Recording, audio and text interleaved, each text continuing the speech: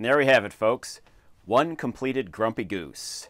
I have to believe that whomever the original designer of these goose figurines was, that they had almost certainly been hissed at, charged, and or chased by a goose at least once in their life, probably multiple times, and they probably watched other people fall victim to grumpy goose antics. Now, whether that original designer was Kay Bojesen, I apologize if I'm mispronouncing that name, or someone else, I honestly don't know. I was only able to find one attribution, and I have no way of verifying whether that's accurate or not. Thank you for joining me for the entire video.